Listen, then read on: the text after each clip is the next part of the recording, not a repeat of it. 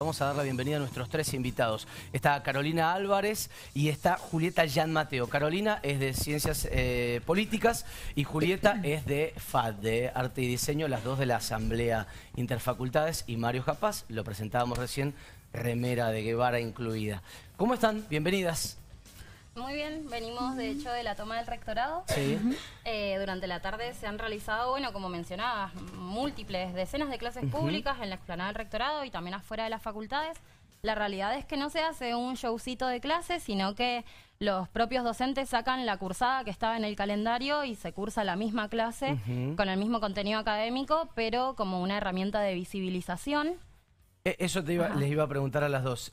¿Se pierden clases en la UNCUYO como se han perdido en la UBA o en otras facultades, o mejor dicho, dentro de las facultades de la UBA en Buenos Aires, que es algo que hemos visto en las últimas horas? Si ha- alguien ha perdido una clase por causa de las tomas acá, como si pasó allá. No, mira, por causa de las tomas, eh, hecho las tomas que de la semana pasada, eh, la universidad siguió funcionando como siempre. Nosotros estuvimos en el rec- rectorado, funcionó la biblioteca, funcionó Radio U, cada persona pudo entrar a su puesto de trabajo. El no 100% hubo ninguna de las, de alteración. las clases. También, sí. Claro, sí. a diferencia de lo que se ve en Buenos Aires. También está bueno aclarar que en el rectorado no se cursa, donde sí se cursa es en las facultades, que es donde se están haciendo las acciones de visibilización y que todas estas decisiones, estos, estos planes, ¿no? estas acciones que llevamos a cabo, se deciden en asambleas que son completamente democráticas, donde todo el mundo tiene voz y voto, donde estudiantes, docentes y no docentes proponemos y decidimos en conjunto y que son Bueno, asambleas que se están acabo- multiplicando eh, a lo largo y ancho del país. Acabamos de ver que no son totalmente democráticas porque hay gente que quiere tener clases y hay un tipo que entra como la Gestapo a decirle, loco, agarra tus cosas y tómatela. Ese no ha sido el caso de Loncuyo. De hecho, hoy cuando empezábamos con la acción de las clases públicas, ocurrió que habían estudiantes estudiando en la biblioteca central y fue, fueron las mismas autoridades quienes decidieron cerrar la biblioteca, pedirles que se retiren, o sea, que interrumpan sus Sí. estudios para impedir que de esa forma se desarrolle la medida de lucha.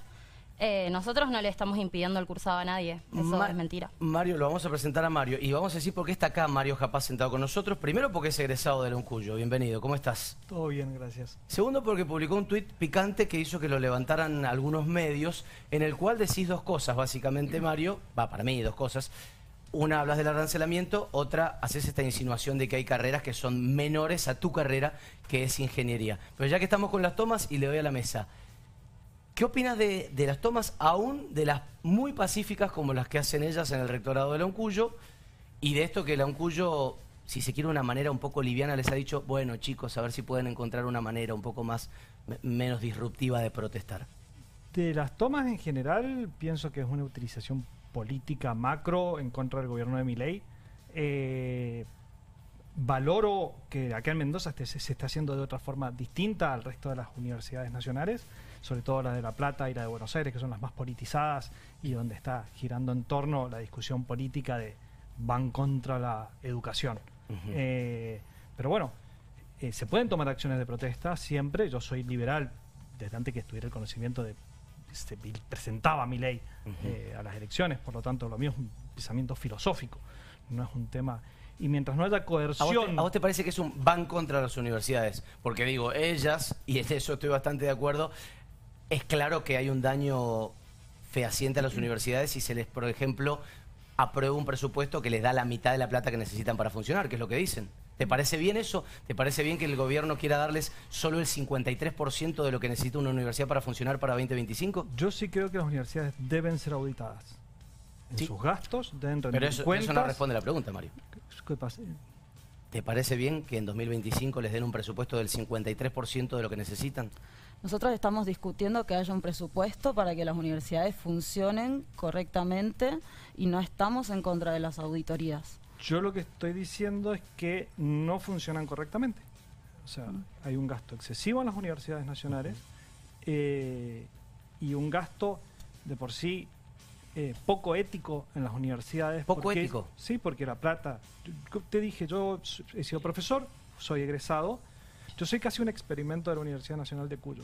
Mm. Yo fui a la- al magisterio, que después se llamó Carmen Verarenas, después No. fui al CUC. Están separados el magisterio del Carmen Verarenas. En su momento, Ah, la bien. escuela de magisterio, después se llamó Carmen Verarenas. Bien, ahora Estábamos en el segundo piso del CUC, de por sí no teníamos edificio. Claro, bien. Eh, después pasé al CUC, yo, fui, yo soy egresado del CUC. y después fui a ingeniería. Por lo tanto, soy egresado, quiero Pleno. muchísimo la Universidad Sí. Nacional de Cuyo. eh, terminé la carrera en otro país.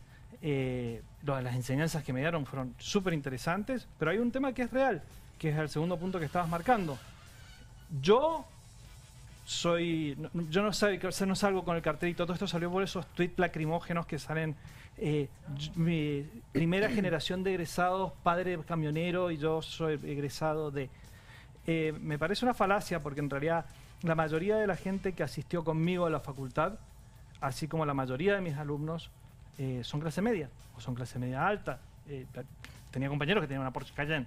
Eh, y el IVA de la leche de un chico del Chaco o de los chicos del barrio Flores que están enfrente de la UNCUYO y no acceden, eh, tienen que pagar la universidad de gente privilegiada. Chicas, métanse cuando quieran. no hace falta Sí, que les no, estemos dando bueno, la. en ese sentido me parece que es más una opinión porque hay números que indican que más de un 60% de estudiantes eh, son hijos de, personas de clase obrera que no han ido a la universidad. Y bueno, en ese sentido, justo comentabas del barrio Flores, eh, durante la toma la semana pasada se acercaron eh, personas del barrio Flores, del comedor, nos trajeron una garrafa para que pudiéramos sostener las acciones. Y justamente ese comedor hoy en día no está pudiendo funcionar porque no están habiendo plata, porque este gobierno también ha recortado de los sitios más vulnerables, en donde más duele, eh, recortar. Entonces, eh, y que esas personas hayan acercado a apoyar, a traernos una garrafa con lo que cuesta hoy en día pagar cada cosa, me parece muy simbólico y muy importante.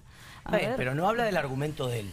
No habla del argumento de él. Vos estás diciendo lo del sí. barrio Flores venían a traernos una, justo garrafa y él, dice, dijo. y él dice, no van a la universidad los del barrio Flores. La garpan, la vende afuera, pero no entran. Por más que después Lo lleven una que nos planteaban las vecinas del barrio que se acercaron era que se querían solidarizar con nosotras porque estaban al frente de la universidad y sin embargo sus hijos no pueden acceder a la universidad. Yo no sé hace dice. cuánto el señor no pisará una universidad pública porque actualmente el 48% de estudiantes que estamos en las universidades, lo indica el INDEC, eh, estamos bajo la línea de pobreza. Y eso es una situación que es, el ver- es lo que verdaderamente nos impide continuar el cursado. El- Nosotras, el, INDEC sin- dice que el 48% de la gente de las universidades es pobre. Sí, 48-52. Eh, sin caer ahí en, en el dato, ¿no?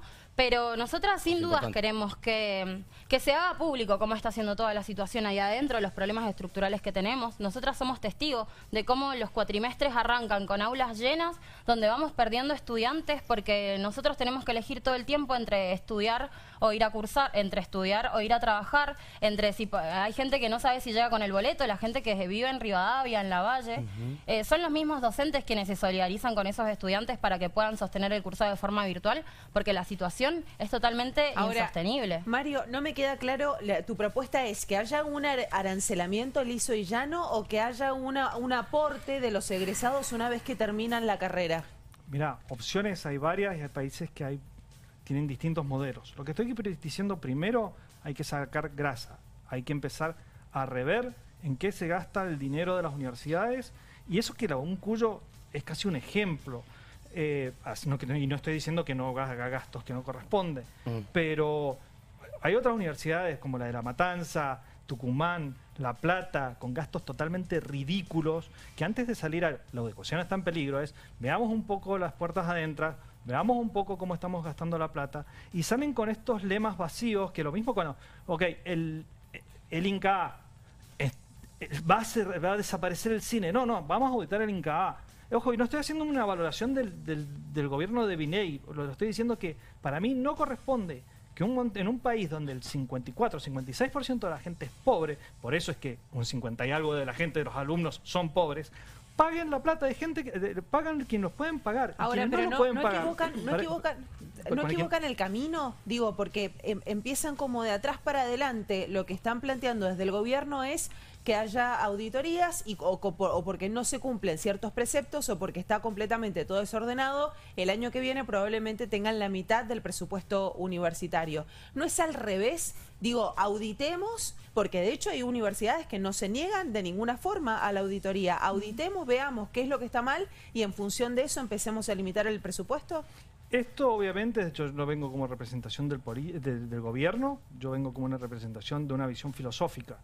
Eh, después lo que negocie el gobierno con las universidades, particularmente con UBA, que es la que está pesando, eh, es una negociación para ver hasta dónde se audita, cómo, qué se recorta, y es una negociación política como es la política. Bien, pero Yo- vos criticás la postura de ellos y, y queremos saber si no ves un error en la forma en la que encara esto el gobierno. Lo que dice Agustín es cierto. Primero te recorto, porque yo digo que vos estás gastando mal. Hasta acá no hemos Está visto... gastando mal. Bueno, decinos en qué. ¿En qué? Claro. ¿Qué por sería sí, un está- mal lo- gasto? lo- está Yo creo que sí, pero decinos en qué, porque yo no, hasta hoy no lo puedo Pero mostrar o además, ver. Seamos, seamos más puntuales. A ver, nos interesa cómo funciona la Universidad Nacional de Cuyo. Es la que tenemos cerca, es la, es la que ha- hemos acudido todos. ¿En qué está gastando mal la Universidad Nacional de Cuyo? No- Digo, porque el, el leitmotiv, o, o si querés, la primera espada de, este recorte y de mi ley es vamos a auditar porque están gastando mal. Bueno, la Universidad Nacional de Cuyo, la que nos compete, la que tenemos bajo nuestra mirada, ¿en qué gasta mal? Eh, no voy, o sea, no soy lo suficiente, no soy tampoco serio como sin una auditoría a verlo. Sí te puedo dar un caso como la Universidad de Tucumán, eh, que tuvo toda una inversión de mineras para hacer todo un campus y nunca se, nunca se hizo. O sea, definitivamente la plata no se está gastando bien. Después tenemos, hacemos cero rendimiento económico y académico. No O sea, es verdad hay que es cero porque estoy- cada año se hacen las auditorías. Estoy, es- tengo, he tenido compañeros que han tardado 12, 14, 15 años en recibirse, de clases medias, medias altas, de por sí uno es de clase alta, eh, que te repito, la gente pobre le está pagando la carrera. ¿Por qué no damos, por qué no rendimos cuenta sobre eso? Ahora, vuelvo un poquito sobre el tema de arancelamiento y le pregunto a las chicas. No, eh, y tomando un poco lo que decía Mario hace un ratito, es verdad que este, con, con el IVA que pagamos todos, en definitiva se termina bancando la educación de gente que probablemente sí la pueda pagar. No es lo mismo hacer un estudio y decir, bueno, están estas personas que realmente vienen en una situación vulnerable, no arrancaron del mismo lugar que todo el mundo, este, les cuesta muchísimo más, son de clase obrera, lo que fuera, y hay otras personas que a lo mejor tienen una situación económica un poquito más acomodada y que podrían bancar el sistema. ¿No están de acuerdo con eso?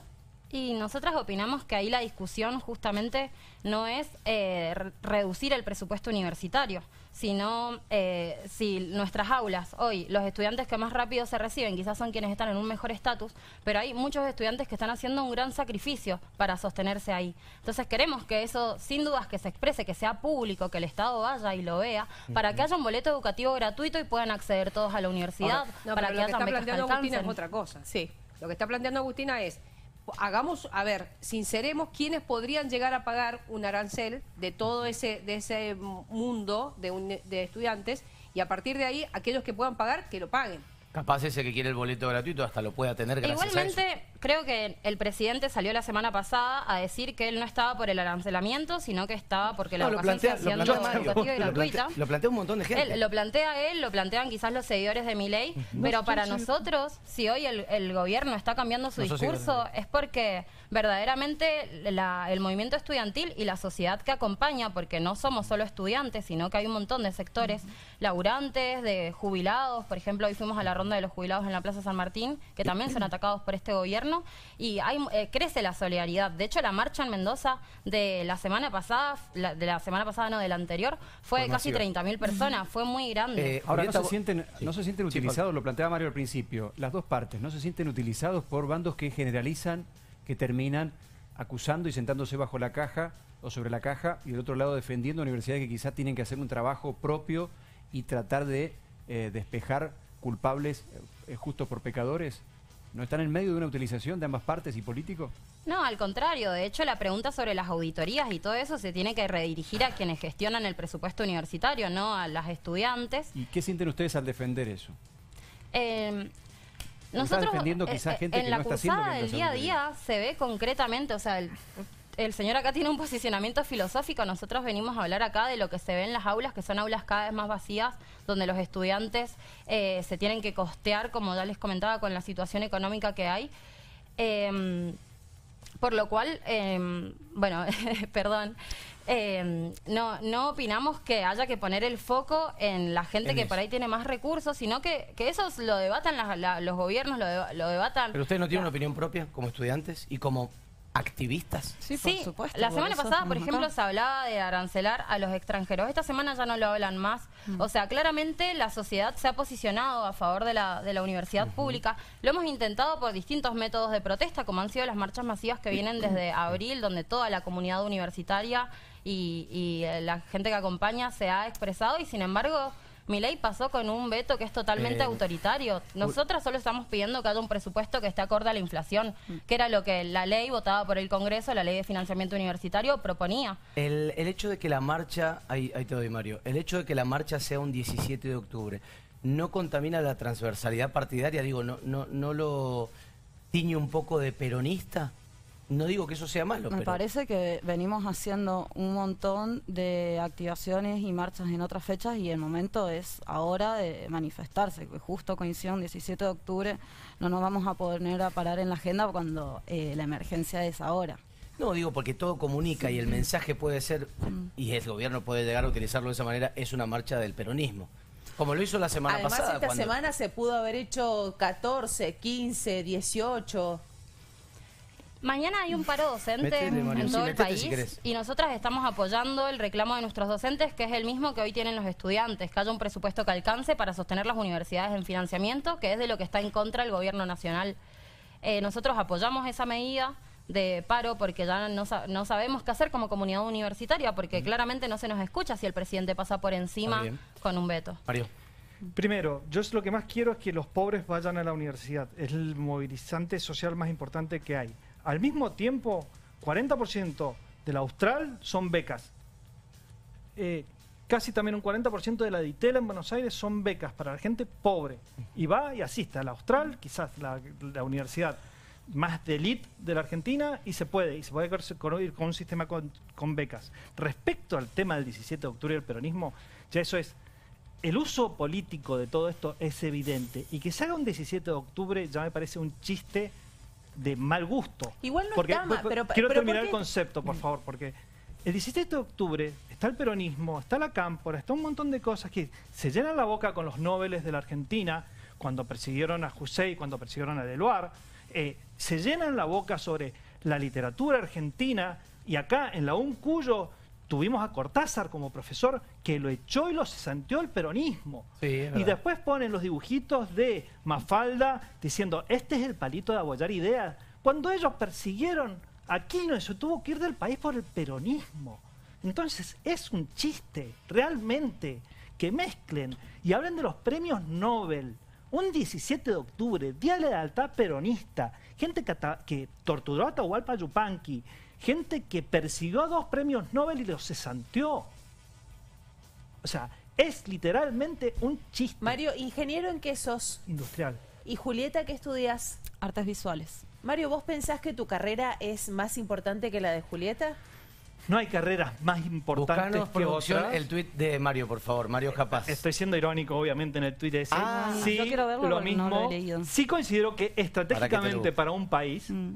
Hay carreras más importantes que otras. Como ingeniería respecto a lo que estudia Julieta, por ejemplo. Pero por sí yo como industrial puedo decir que hay carreras más importantes que la mía, como lo son ingeniería en petróleos, geólogos. Pero pará, nos, faltan, nos faltan muchísimos ¿quién- quién geólogos. Pero es más ¿Quién importante que la de Julieta, eso? sí o no? Perdón, Agus, no te quise pisar.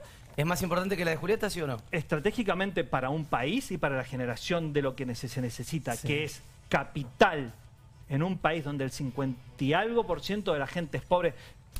Tengo un tono bastante particular. Vamos al tuit. Vamos a ver. Soy Mario. A diferencia de la mayoría de los que escriben esto por las redes, estudié una carrera bastante difícil y útil. A diferencia, ingeniería industrial en la Uncuyo. Primero recibirme la camada, bla, bla, bla, no soy millonario, no me va mal. Bajamos un poquito más, porque ya lo que queríamos ver lo vimos, pero acá hablas de los aranceles. eh, dejen la lloradera y las tomas de facultades berreta, generan cero empatía. Lo único que piensa la gente es que si cerramos filosofía por 20 años, si cerramos filosofía por 20 años, no le pasa nada a este país. No asustan a nada con estas fantochadas. Argentina necesita un cambio. Bueno, eh, ahí hay dos.